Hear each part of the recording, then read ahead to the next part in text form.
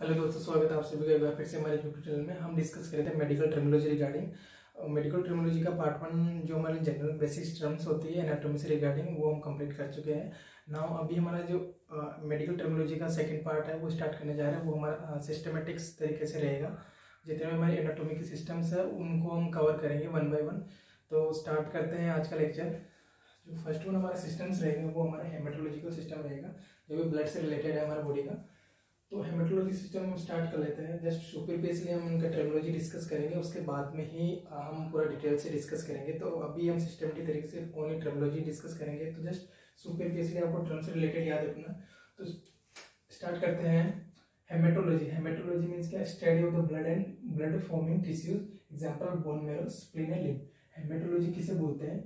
Study of blood blood की study साथ ही ब्लड फॉर्मिंग टिश्यू की स्टडी की ब्रांच को हम क्या बोलते हैं? हेमेटोलॉजी देखो haem haem word for the blood and logy logy for the study तो हेमेटोलॉजी किसकी study blood and blood forming tissues blood forming जहाँ पे ब्लड बनता है कहाँ बनता है बोन मेरो बनता है स्प्लिन बनता है लिम्फ में बनता है तो उन सबकी स्टडी की जाती है। उस साइंस को क्या बोलते हैं हेमेटोलॉजी सेकेंड टर्मोलॉजी हमारी होगी हेम हेम से रिलेटेड किससे रिलेटेड होता है? ब्लड ब्लड के लिए वर्ड आता है हेम तो ब्लड क्या होता है? Specialised body fluid that contain plasma and cell body fluid का ही प्रकार है, क्योंकि ब्लड एक लिक्विड टाइप का होता है तो लिक्विड में ही प्रेजेंट होता है। मैंने इसलिए से क्या बोला है? बॉडी फ्लूइड का ही एक प्रकार है एक्स्ट्रा सेलुलर फ्लूइड में आता है जो, जिसमें क्या क्या प्रेजेंट होते हैं? प्लाज्मा एंड सेल्स जो ब्लड के दो कंपोनेंट हम जो पढ़ते हैं डिटेल से डिस्कस करेंगे, वो होते हैं blood plasma and blood cells तो ब्लड को ही ब्लड प्लाज्मा और ब्लड सेल्स में डिवाइड किया हुआ तो ब्लड प्लाज्मा क्या होता है? वो डिस्कस कर लेते हैं। Plasma liquid part of the blood blood का जो भी लिक्विड वाला पोर्शन होगा उसे हम क्या बोलेंगे? प्लाज्मा और जो वो रिमेनिंग पोर्शन लिक्विड पोर्शन के बाद जो रिमेनिंग पोर्शन क्या? ब्लड सेल्स होगी, उनको हम क्या बोलेंगे? ब्लड सेल्स कौन कौन सी होती है वो? RBC WBC and platelet three type की ब्लड सेल्स पाई जाती है हमारे ब्लड ब्लड में। कौन कौन सी? R B C W B C and platelets तो आर बी सी के लिए कौन सी टर्मोलॉजी आती है? डब्ल्यू बी सी कौन सी आती है? प्लेटलेट्स के लिए कौन सी आती है? वो डिस्कस कर लेते हैं। इससे पहले हम एक और टर्म डिस्कस कर लेते हैं। देखो एक और टर्मोलॉजी होती है सीरम उससे आपको कंफ्यूज नहीं होना सीरम सीरम ब्लड का ही एक पार्ट है। जब प्लाज्मा प्लाज्मा या जो लिक्विड पार्ट होता है ब्लड का, उस लिक्विड पार्ट में से blood cells plus clotting factor को रिमूव कर दिया जाए। तो जो रिमेनिंग पार्ट बचेगा, उसको हम क्या बोलेंगे? सीरम तो किस किस को रिमूव करने के बाद बचेगा? हम किसे बोल देंगे? Blood cells blood cells plus clotting factor इन दो चीज़ों को ब्लड में से अगर बाहर निकाल दिया जाए तो रिमेनिंग पोर्शन रहता है उसे क्या बोलते हैं? सीरम तो बस सीरम के साथ और प्लाज्मा के साथ कंफ्यूज नहीं होना। प्लाज्मा भी कैसे बोलेंगे जो लिक्विड पार्ट होगा, जिसमें से ओनली ब्लड सेल्स को रिमूव करते हैं। और जो रिमेनिंग पार्ट होता है ब्लड का, उसे प्लाज्मा बोलते हैं। जबकि सीरम कैसे बोलते हैं? Blood cells plus clotting factor को रिमूव करने के बाद में जो पार्ट रिमेनिंग रहता है, हालाँकि वो भी लिक्विड पार्ट ही होगा तो उसे हम क्या बोलेंगे सीरम तो सीरम और प्लाज्मा के साथ कंफ्यूज नहीं होना है दूसरों को। नेक्स्ट है इरिथ्रोसाइट इरिथ्रोसाइट किसे बोलते हैं? Erythro erythro word for redness erythro word for redness and cyte for the cell देखो सेल के लिए साइट साइटोलॉजी साइटोलॉजी एक ब्रांच होती है जिसमें सेल के बारे में स्टडी की जाती है साइटोलॉजी तो cyte cyte word for the cell कौन सी सेल है? रेड तो red blood cell blood present है इसलिए ब्लड तो red blood cell red blood cell के लिए कौन सी टर्मिनोलॉजी आएगी इरिथ्रोसाइट सेम उसी प्रकार से व्हाइट ब्लड सेल उसके लिए कौन सी टर्मिनोलॉजी आएगी? Leukocyte leuko leuko for the white and cyte for the cell तो व्हाइट सेल कहाँ प्रेजेंट है ब्लड इसलिए व्हाइट ब्लड सेल तो ये leucocyte for the white blood cell अब व्हाइट ब्लड सेल यहाँ बोले डब्ल्यूबीसी डब्ल्यूबीसी बहुत प्रकार की होती है, पूरा डिटेल से जब हम हेमेटोलॉजी सिस्टम डिस्कस करेंगे, उस टाइम करेंगे बट जस्ट सुपरफिशियली हम यहाँ डिस्कस कर लेते हैं एग्रेनुलोसाइट एंड ग्रेनुलोसाइट एग्रेनुलोसाइट को क्यों बोला है ग्रेनुलोसाइट जिसमें ग्रेन्यूल्स प्रेजेंट नहीं होते। इसमें दो डब्ल्यूबीसी रखते हैं, जिस डिस्कस कर लेते हैं। Monocyte and lymphocyte monocyte and lymphocyte दोनों ग्रेनुलोसाइट्स होते हैं, जिसमें ग्रेन्यूल्स नहीं होते। उनको हम मोनोन्यूक्लियर भी बोलते हैं, क्योंकि उसमें एक ही न्यूक्लियस पाया जाता है। इसलिए उनको मोनोन्यूक्लियर बोलते हैं, साथ ही एक ग्रेनुलोसाइट उसमें छोटे छोटे ग्रेन्यूल्स नहीं पाए जाते और दूसरी होती है ग्रेनुलोसाइट जिसमें ग्रेन्यूल्स पाए जाते हैं। इसमें कौन कौन सी आती है हमारी? न्यूट्रोफिल बेसोफिल एंड ईओसोनोफिल तीन डब्ल्यूबीसी है वो। ग्रेनुलोसाइट में आती है इनको पॉलीन्यूक्लियर डब्ल्यू भी बोलते हैं, क्योंकि इनमें बहुत सारे न्यूक्लियस पाए जाते हैं, साथ ही इनमें ग्रेन्यूल्स भी प्रेजेंट होती है। इसलिए इनको क्या बोलते हैं? ग्रेन्यूलोसाइट्स बोलते हैं। तो ये डब्ल्यूबीसी के ही टू टाइप्स होते हैं agranulocyte and granulocyte then further specify करने के बाद में एग्रेनुलोसाइट का मोनोसाइट एंड लिपोसाइट इसी कैटेगरी में आते हैं। और न्यूट्रोफिल्स बेसोफिल इसिनोफिल्स कौन सी कैटेगरी आते हैं? ग्रेनुलोसाइट जिनको हम पॉलीन्यूक्लियर नाम से भी जानते हैं। नेक्स्ट टर्मिनोलॉजी होगा हमारा थ्रोम्बोसाइट्स देखो साइड वर्ड बोलते हैं cell and thrombo thrombo word बोलते हैं प्लेटलेट थ्रोम्बो वर्ड बोलते हैं प्लेटलेट तो थ्रोम्बोसाइट के लिए किसे बोलते हैं? प्लेटलेट को। थ्रोम्बो थ्रोम्बस बनाना, एक प्लग बनाना या क्लोट बनाने का जो काम करती है सेल उसे हम क्या बोलते हैं? प्लेटलेट और उसके लिए मेडिकल टर्म क्या है? थ्रोम्बोसाइट तो थ्रोम्बोसाइट बोलते हैं प्लेटलेट नेक्स्ट टर्मिनोलॉजी हमारा है स्टेम सेल देखो स्टेम सेल बोन में प्रेजेंट होती है और जो सबसे इमेच्योर बोन होती है ब्लड फॉर्मिंग सेल्स की। ये हम बोल सकते हैं जो बोन मेरो में एक प्रकार की स्पेशल टाइप की सेल पाई जाती है जो ब्लड सेल्स का फॉर्मेशन करती है। उस सेल्स को हम क्या बोलते हैं? स्टेम सेल स्टेम सेल कौन सी होती है? इमेच्योर ब्लड सेल्स होती है, जो कि ब्लड सेल्स बनाती है अलग अलग कैटेगरी की। डब्ल्यू बी सी अलग प्रकार के सेल्स बनाती है आर बी सी अलग प्रकार की सेल्स बनाती है और प्लेटलेट अलग प्रकार की सेल बनाती है। वो फर्दर हम डिस्कस करेंगे और डिटेल से करेंगे। जस्ट अभी आपको याद रखेंगे स्टेम सेल क्या होती है? इमेच्योर ब्लड सेल्स होती है जो बोन मेरो प्रेजेंट होती है और ब्लड सेल्स का निर्माण करती है। बस इतना आपको याद रखना है। नेक्स्ट है हमारी टर्मोलॉजी हेमेटोपोइसिस देखो ब्लड पढ़ रही इसलिए haem word for the blood poiesis poiesis means होता है फॉर्मेशन या बनाना है, हम बोल सकते हैं तो हेमेटोपोइसिस हेमेटोपोइसिस मीन ब्लड का फॉर्मेशन ब्लड का बनाना। कि जो प्रोसेस वोसेस क्या बोलेंगे? Haematopoiesis formation of the blood cells या ब्लड या ब्लड सेल्स की प्रोसेस को हम क्या बोलते हैं? हेमेटो पोसिस अगर जैसे हम ये डिस्कस कर लें one more poiesis terminology clear हो जाएगा वहाँ। जैसे मैं बोलूँ कि आरबीसी की फॉर्मेशन को हम क्या बोलेंगे? तो वहाँ पे कौन सी टर्मिनोलॉजी बन जाएगी? आरबीसी तो आरबीसी के कौन सा वर्ड आता है? इरिथ्रो फॉर्मेशन के लिए। पोइसिस तो कौन सी टर्मिनोलॉजी बन गई? इरिथ्रो पोइसिस सेम ऐसे अगर मैं बोल दूँगा कि डब्ल्यूबीसी के फॉर्मेशन के प्रोसेस में क्या बोलेंगे तो डब्ल्यूसी के लिए कौन सा वर्ड आता है एंड फॉर्मेशन के लिए कौन सा वर्ड आएगा poiesis तो leukopoiesis leukopoiesis में formation of the WBC is known as leukopoiesis same अगर हम बात करें प्लेटलेट की तो प्लेटलेट थ्रोम्बो प्लेटलेट के लिए कौन सा वर्ड आता है thrombo poiesis poiesis means formation तो थ्रोम्बोपोइसिस कैसे बोलेंगे?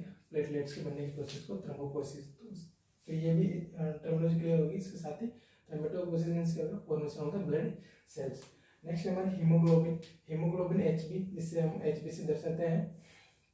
तो हीमोग्लोबिन हमारा एक पिगमेंट होता है जो आरबीसी के ऊपर सिचुएटेड रहता है। तो हीमोग्लोबिन हीमोग्लोबिन एक ब्लड पिगमेंट है जो बना होता है। हिम प्लस ग्लोबिन हिम और ग्लोबिन की जो चेन होती है अल्फ़ा चेन और बीटा चेन तो उन दोनों से मिलके बना होता है, उसे हम क्या बोलते हैं? हीमोग्लोबिन ये हमारा ब्लड पिगमेंट होता है इसकी वजह से हमारी जो ब्लड होता है, उसका रेड कलर होता है बिकॉज़ ऑफ़ की आरबीसी बहुत ज़्यादा कंसनट्रेशन में प्रेजेंट होते हैं मेरे ब्लड में। और आरबीसी ज़्यादा प्रेजेंट है तो आरबीसी के ऊपर जो हीमोग्लोबिन है, हमारा ब्लड पिगमेंट जिसे हम बोलते हैं, वो ज़्यादा प्रेजेंट है तो उसकी वजह से वहाँ पे रेड कलर होता है हमारा ब्लड का। तो वो याद रखना है कि हमारा ब्लड पिगमेंट कौन सा होता है? हीमोग्लोबिन नेक्स्ट टर्मोलॉजी हमारा फेरस देखो इसी को कंटिन्यू कर रहे हैं तो बस इससे रिगार्डिंग है, इसलिए यहाँ पे एक मिनरल्स डिस्कस कर रहे हैं। Heme heme word for the H E M E heme heme word यहाँ पे हीमोग्लोबिन फेरस से रिलेटेड है, या हम बोल सकते हैं आयरन से रिलेटेड तो उसमें कंफ्यूज नहीं होना। आयरन के लिए हम heme use heme word use करते हैं। या हम अगर हम केमिस्ट्री की बात करें तो केमिस्ट्री में उसे हम क्या बोलते हैं? फेरस जिसे हम एफ़ ई टू प्लस से इंडिकेट करते हैं। एफ़ ई टू प्लस तो फेरस फेरस किसके लिए आता है? आयरन के लिए या हिम के लिए।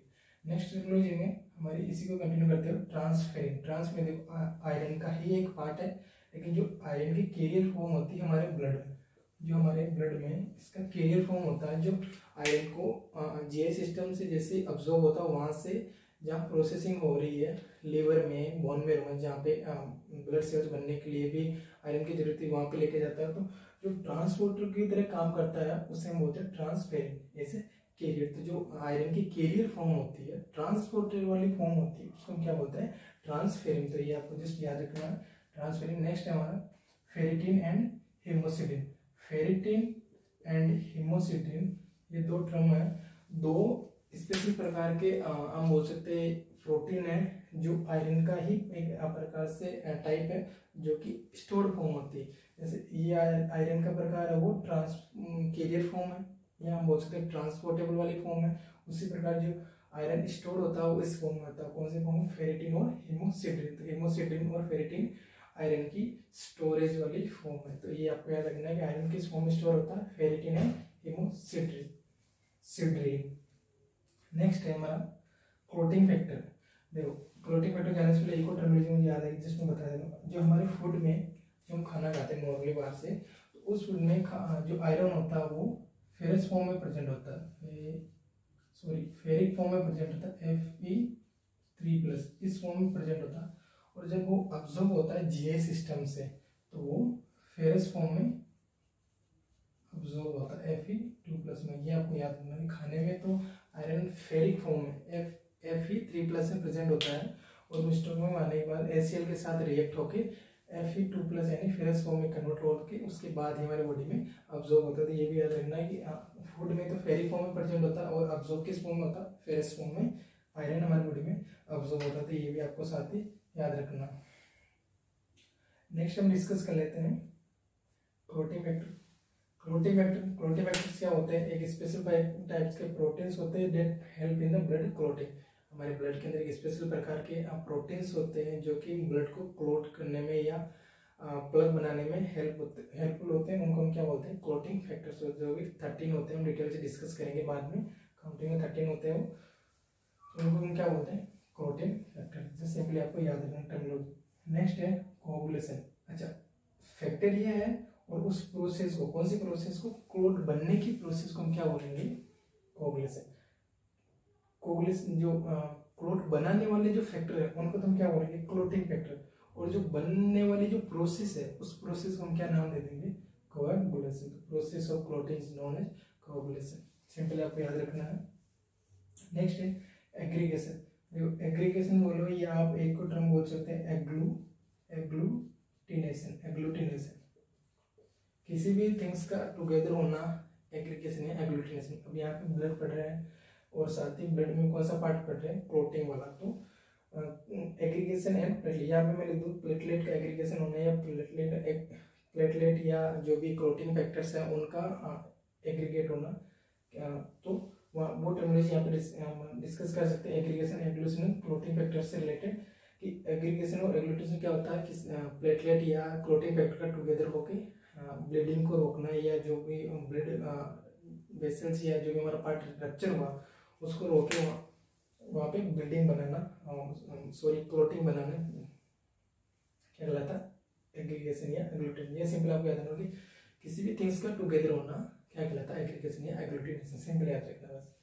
नेक्स्ट है hemostasis देखो hemo word for the blood status for status forward for the stroke hemo word for the blood and status word for the stroke कहीं से इंजरी हुई है, वो इंजरी को ऑटोमेटिकली हमारा जो नेचुरल रिएक्शन होती है, हमारा बॉडी ऑटोमेटिक उसको स्टॉप कर लेता है। तो उस जो नेचुरल जो रिएक्शन होती है, उस रिएक्शन को हम क्या बोलते हैं?